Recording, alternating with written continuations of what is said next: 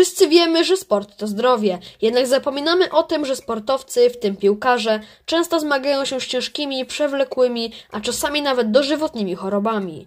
Eric Abidal, czyli francuski były piłkarz m.in. FC Barcelony. W roku 2011 lekarze zdiagnozowali u niego raka wątroby, którego na szczęście po skomplikowanych operacjach udało się wyleczyć. Arjen Robben w wieku 20 lat chorował na raka jąder. Nowotwór przyjął łagodną formę i Holender po operacji powrócił do gry w piłkę. Mogę wspomnieć jeszcze o Aleksandrze Pato, który wygrał z nowotworem, czy na przykład o Pawle Kryszałowiczu, który pokonał raka jelita grubego. Przykładów jest wiele. Zostawcie suba po więcej.